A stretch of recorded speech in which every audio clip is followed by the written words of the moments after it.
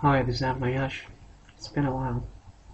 Uh, okay, join me to the uh, Android party.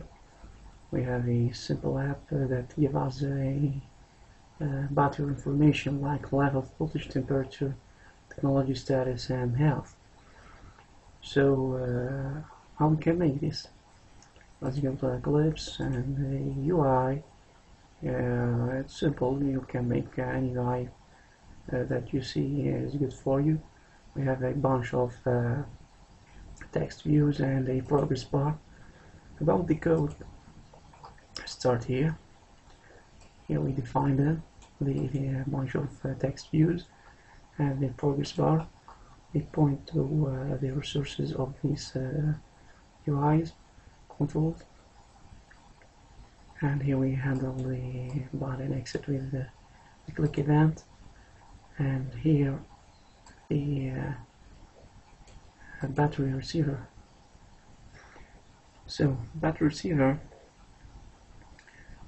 is handled on receive here on action battery change so we check the action if it's uh, action battery change so we show this information in our uh, UI so uh, how we can grab information from uh, these uh, arguments?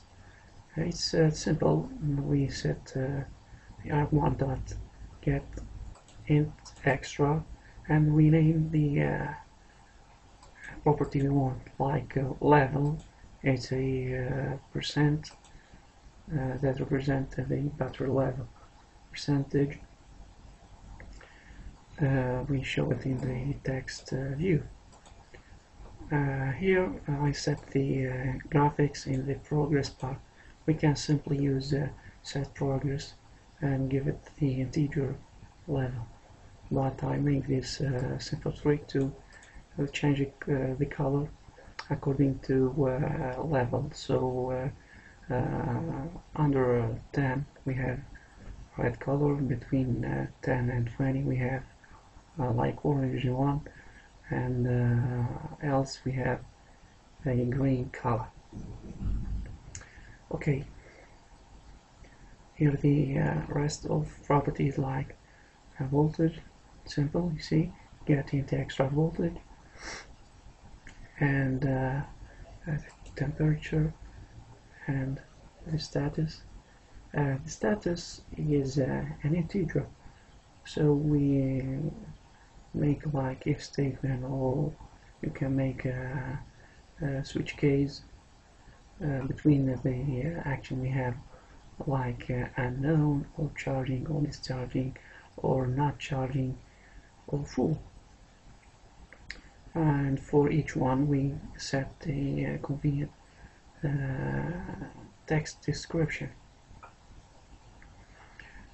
And health the same thing. The same. As uh, status. And that's all. You can download uh, this code as usual from my blog at uh,